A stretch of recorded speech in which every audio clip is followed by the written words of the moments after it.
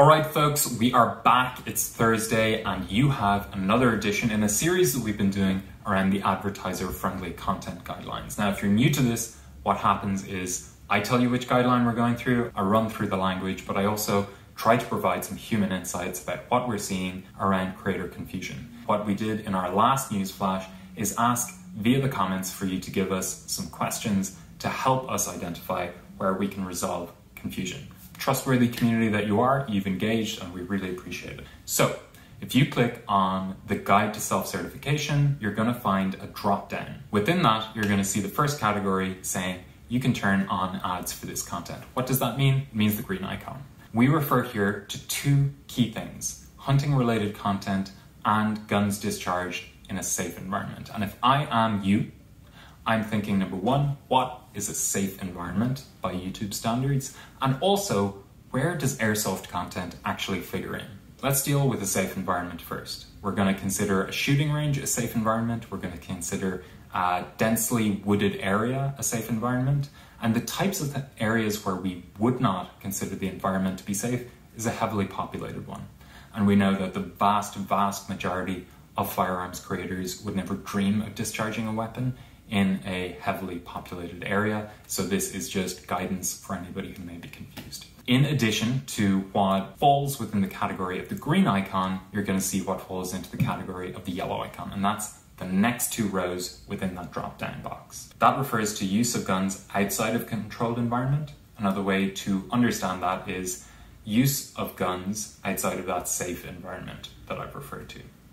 Now, the display of homemade, 3D printed, or previously modified guns, we think that's relatively clear. If it's not, make sure to drop us a couple of comments below and we'll try and get back to you. But the key here is use of airsoft or ball bullet guns against others without protective gear. The first thing to understand is airsoft content is free to monetize with a green icon in almost every instance. What you have to watch out for though is use of airsoft guns or BB guns where somebody in the video is not wearing protective gear and they're hit by one of these things or somebody's trying to hit them. Now, let's move into where you're going to see no ads at all. And this one's really, really important to understand. Content that shows gun creation or modification, including assembly or disassembly, promotes gun makers or sellers or facilitates the sale of gun, as well as minors using guns without adult supervision. Now, minors using guns without adult supervision we think is pretty clear, but let's dig into the rest of it. Particularly the promotion of sale. When I see this, if I'm you, I'm thinking, okay, I can see a clear list here of the kinds of things where promotion of sale will earn me that yellow icon and the no ads rating. But let's take a step back. None of these things are actually prohibited from getting the green icon in and of themselves. I'm looking at gun grips, I'm looking at ammunition, I'm looking at silencers. All of those things featured in content aren't reason to apply a yellow icon. It's when there's promotion of sale or the channel through which you bought it yourself. So I'll give you an example. Fitting a silencer onto a firearm and saying, this silencer is great and I bought it in shop X and I got a really good deal on it. That is totally fine for the green icon. It's when creators start to say, I got this silencer, you can find it via the link below, and if you use this coupon code, you're going to get 25% off. The promotion of sale of these items is going to earn you that no ads status and the yellow icon. What's also important to consider is anything that is promotional content when it comes to gun stores as well. So that, in effect, is another way of trying to promote the sale of a firearm. The rest of it, we hope, is pretty intuitive, which is around gun creation or modification. And what we're talking about here is stuff like bump stocks, which we know the vast, vast majority of firearms creators wouldn't dream of engaging in. And that is effectively it when it comes to firearms content. But wait, we have questions. So, what we want to do is take the questions from the community and there were about five or six from our most recent newsflash, which we're going to dive into now. So the first question came from Airsoft Review Argentina. Um, are airsoft channels treated the same as firearms channel? This is key information, and it is. That's what we're trying to provide. So, are airsoft channels considered firearms channels? The first thing to highlight is The advertiser friendly content guidelines are applied at the video level and not the channel level. So your channel could be about collectible dolls, uh, but we wouldn't be judging you on the basis of the channel title or the general theme of the channel. It's always about the videos themselves. To answer your question, airsoft videos aren't considered firearms content. The one thing you have to watch out for is safe usage of airsoft guns. So if you're, for example, pulling a prank on somebody and shooting them with an airsoft gun, there's no protective gear at all. That's something that's going to get you that yellow icon. So the next question we have is from Curio Curioso. Can we use a video of firearms tests with the National Army testing in targets within a forest?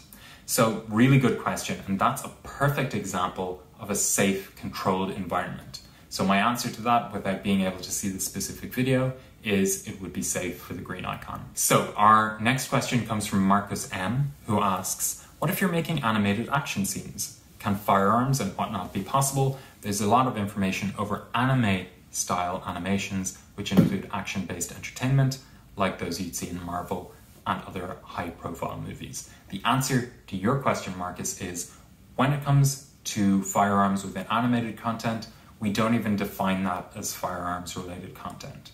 What you would have to be conscious of is our violence guidelines, our shocking content guidelines, and occasionally our inappropriate language guidelines to make sure you're not falling foul of any of the yellow icon guidelines there. But for a direct answer, animated content featuring a gun is not what we considered firearm related content. Next up is a question from Chris Sparrows.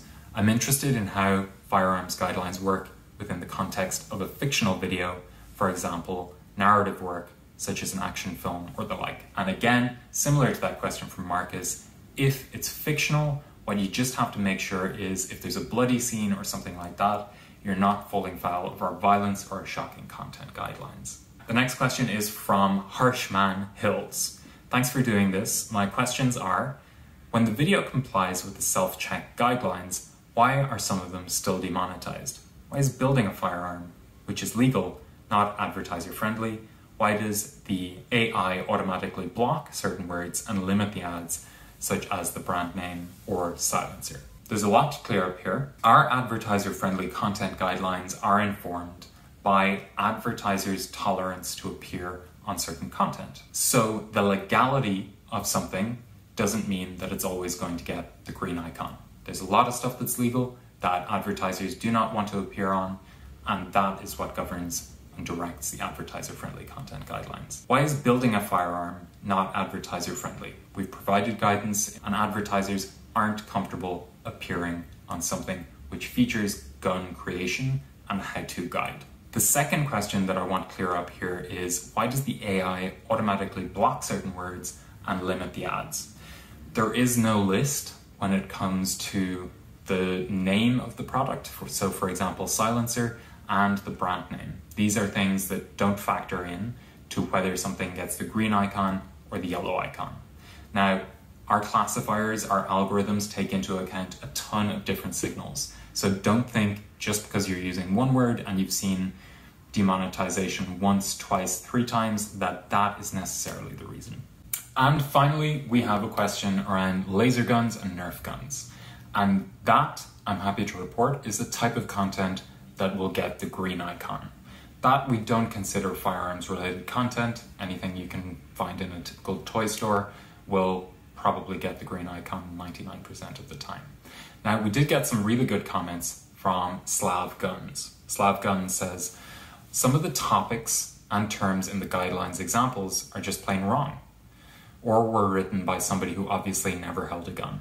Please let me know if you want to discuss these guidelines and get some help or answers. And that's something we're always eager to do. And the best way in which you can do that is drop more context in the comments below. If there's a specific term or topic that you feel we could refer to in a way that's more recognizable and more easily understood by firearms creators like yourself, Slav Guns, make sure to drop it in the comments below.